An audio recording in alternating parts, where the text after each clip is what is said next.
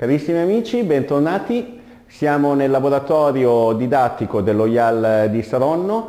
Sono in compagnia dei ragazzi di seconda del corso panificatore pasticcere e quest'oggi faremo assieme a loro una ricetta che non è semplicissima come procedimento, siamo qui però con attrezzature che tutti possedete a casa, vedrete che sarà semplicissima la realizzazione ed è in particolare la ricetta dei croissant, quindi delle classiche brioche francesi. Allora Giancarlo, ci leggi quali sono gli ingredienti? Per questa ricetta abbiamo bisogno di 500 g di farina, 30 g di lievito di birra, eh, 80 g di zucchero, 10 g di sale, 50 g di uovo, 250 g d'acqua e infine 250 g burro di cornetto. Ok, eh, detti gli ingredienti, il burro di cornetto non è nient'altro che burro che però subisce una lavorazione particolare per essere reso più plastico, per, eh, adatto alla lavorazione, quindi dopo eh, vedremo i diversi procedimenti, eh, così anche a casa riuscirete a replicare la ricetta. Ecco, come prima cosa mettiamo la farina sul nostro piano di lavoro, Perfetto, e la disponiamo a fontana.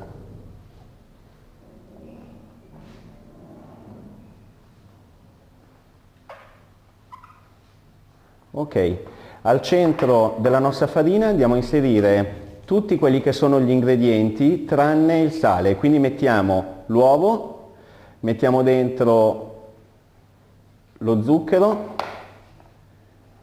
il lievito, e l'acqua che abbiamo precedentemente pesato, ok? La mettiamo tutta e iniziamo a impastare gli ingredienti.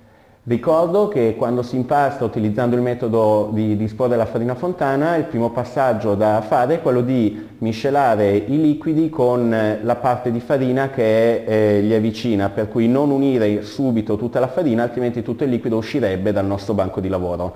Adesso Selene puoi iniziare a impastare?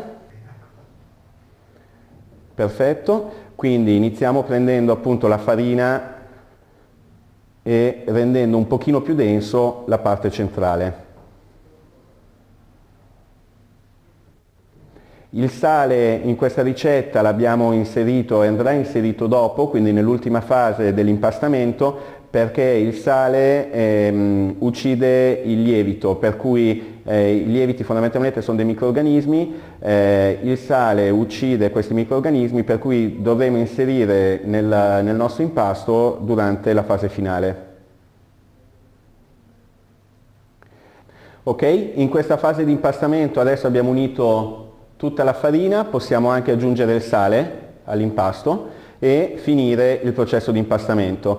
Nel frattempo invece eh, puoi preparare il burro di cornetto, quindi per preparare questo burro noi prendiamo un foglio di carta da forno, lo disponiamo sul tavolo, gli mettiamo sopra il nostro burro che abbiamo pesato ok? e gli appoggiamo sopra un altro pezzettino di carta da forno. A questo punto con l'aiuto di un mattarello andremo a schiacciare il nostro burro a un'altezza di circa mezzo centimetro.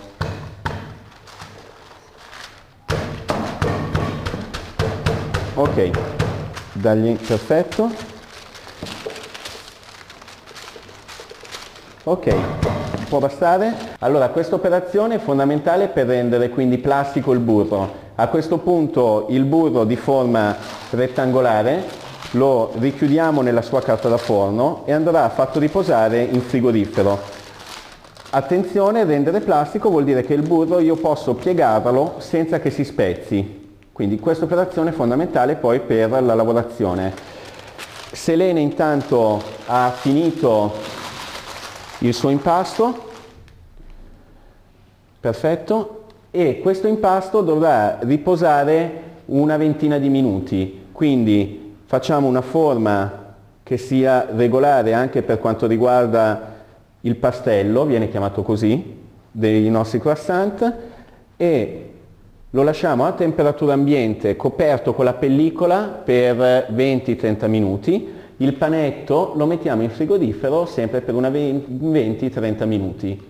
Eccoci quindi, trascorso il tempo di riposo del panetto di burro che abbiamo reso plastico e del pastello, possiamo iniziare la nostra lavorazione. Iniziamo mettendo un pochino di farina sul banco di lavoro, gli mettiamo il nostro impasto del pastello che è riposato, ok?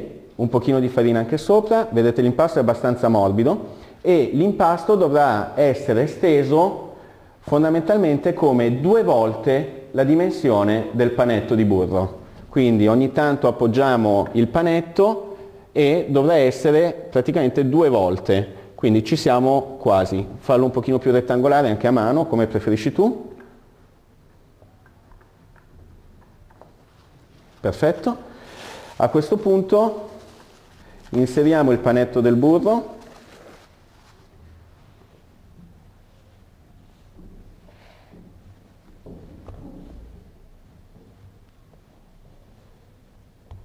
e andremo a dare quelle che vengono chiamate le pieghe. Quindi ripeto e rifacciamo vedere l'operazione. Abbiamo ripreso il pastello, abbiamo allargato due volte la dimensione del panetto di burro, abbiamo chiuso in modo che tutto il burro rimanga all'interno del nostro impasto e adesso diamo quelle che vengono chiamate le pieghe ai nostri croissant. Quindi con sempre un pochino di farina sotto e un pochino di farina sopra iniziamo a stendere il nostro impasto.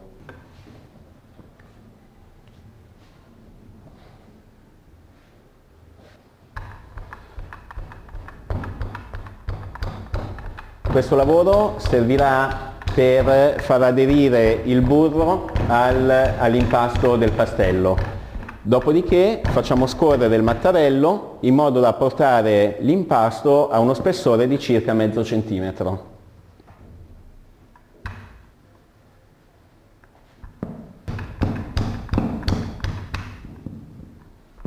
Perfetto, e a questo punto andremo a dare quella che viene chiamata la piega 3. Piega 3 vuol dire che devo ottenere da questo impasto tre strati di pasta.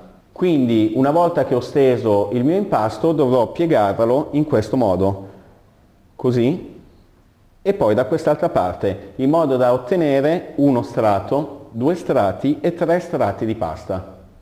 Ok? A questo punto, dopo che l'abbiamo stesa a 3, dovremo rischiacciare e ristendere il nostro impasto e dare nuovamente un'altra piega.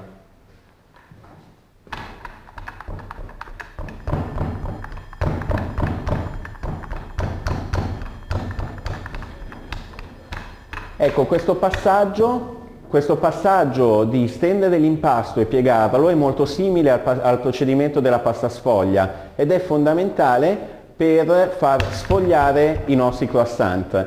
Perché cosa succede? Che durante la cottura l'acqua che è contenuta nel pastello evapora, evaporando spingerà il nostro impasto verso l'alto finché incontra lo strato di burro acqua e burro insieme non si miscelano e quindi ottengo le diverse sfoglie, in questo caso dei croissant, può essere dei cannoncini o dei ventaglietti nel caso della pasta sfoglia.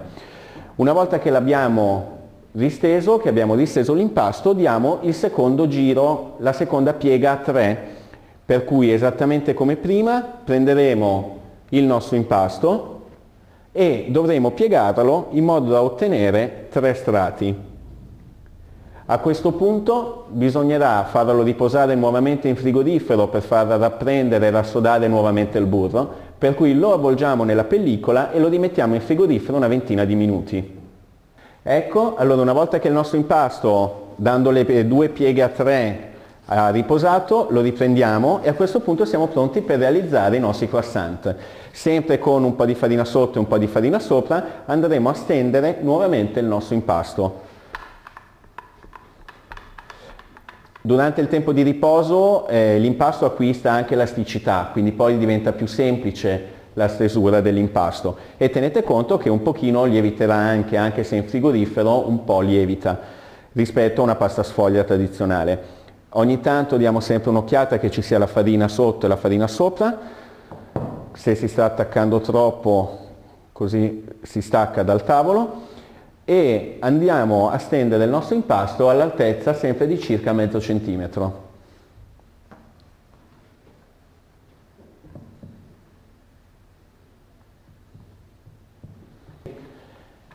Perfetto, allora una volta che l'abbiamo stesa la mettiamo in orizzontale, più è regolare e meglio verranno poi i nostri croissant, quindi fate attenzione quando stendete l'impasto a farlo in modo regolare. Prendiamo un coltello e iniziamo tagliando dei triangoli dal nostro impasto.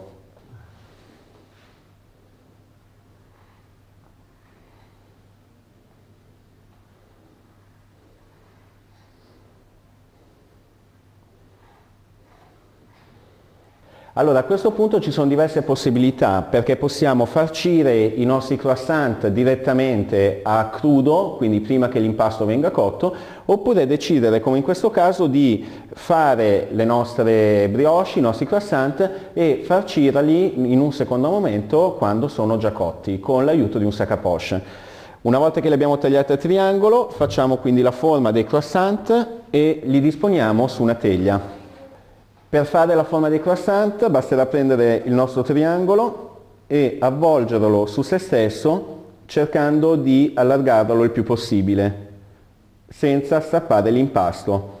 Una volta che ho pronto il croissant chiuderò le punte e lo metterò sulla nostra teglia.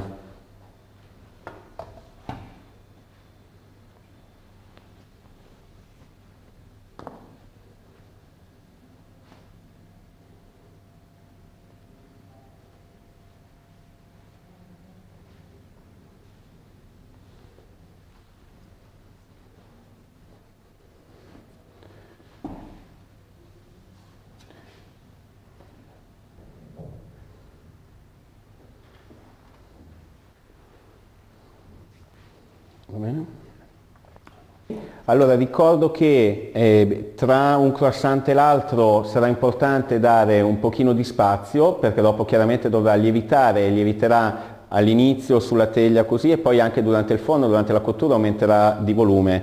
Volevo farvi vedere l'ultimo croissant in cui facciamo un saccottino, il classico saccottino al cioccolato, per cui anziché a forma di triangolo taglieremo il nostro impasto con una striscia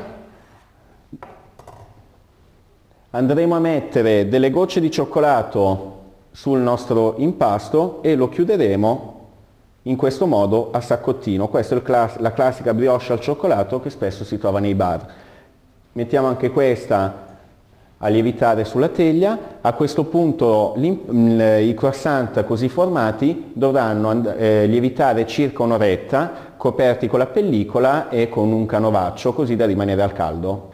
Ok? Trascorso anche il tempo di lievitazione andiamo a togliere il nostro straccio e inseriamo i nostri croissant nel forno. A una temperatura di circa 190-200 gradi per circa un quarto d'ora. Trascorso il tempo di cottura, allora andiamo a sfornare le nostre brioche, i nostri croissant caldi e fragranti e così questo è come si presentano i croissant una volta che sono cotti. I croissant sono eh, anche congelabili a crudo, quindi chiaramente uno a casa può evitare di dover cuocere necessariamente 20-30 brioche. Faccio i miei croissant, una volta che li ho formati li metto in congelatore, li tolgo la sera, li faccio lievitare tutta la notte in frigorifero e al mattino avrò i croissant lievitati pronti per essere messi nel forno e gustati a colazione. Vi ringrazio dell'attenzione, ringraziamo i ragazzi del secondo anno panificatore pasticcere che hanno realizzato questa ricetta e ci vediamo per la prossima.